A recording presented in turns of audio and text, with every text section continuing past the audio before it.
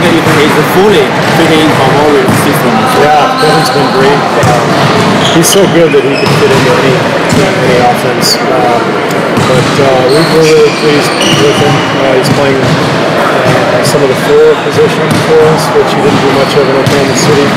Uh, we've got to stay on him about his rebounding and uh, defense, especially when he's at that position.